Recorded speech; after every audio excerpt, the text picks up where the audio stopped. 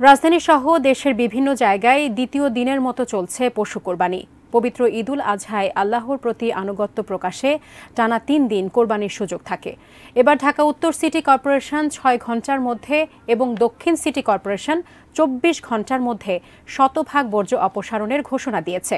সেই সঙ্গে দক্ষিণ সিটির দ্বিতীয় দিনের মধ্যেই পশু কোরবানি সম্পন্ন করার আহ্বান জানিয়েছেন।